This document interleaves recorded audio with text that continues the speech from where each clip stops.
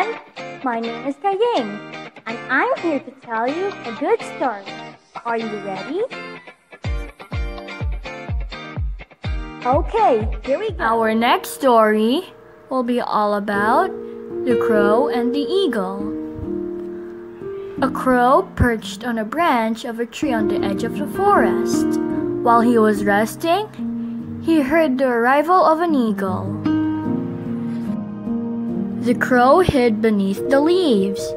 He was afraid that the eagle might snatch him. The eagle flew in circles. The crow waited for his next move. Suddenly, the eagle dove into the bushes in the meadow. When he came up, his claws were already clutching a big snake. The eagle carried the snake away. The crow envied the eagle. It was very easy for the eagle to snatch food. He thought, I can do whatever the eagle can do.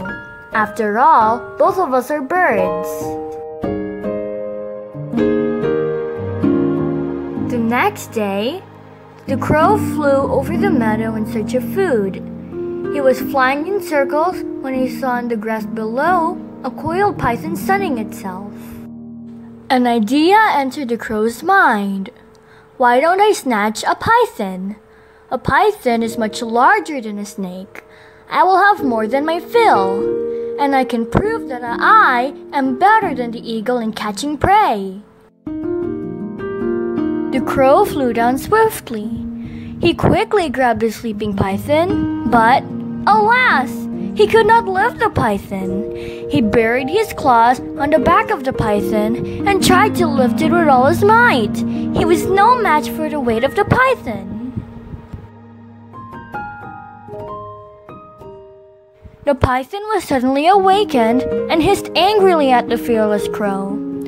Doubly frightened, the crows scurried off in flight.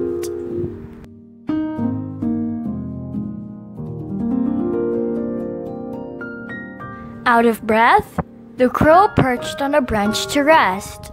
He failed in what he wanted to do. He realized he should consider first whether or not he was capable of doing something daring. The end. The moral lesson of the story is Knowing the limits of your strengths and abilities can bring you success in whatever you do. Did you guys like the story? Okay then, I'll see you on my next story. Bye! God loves you. Keep safe, everyone.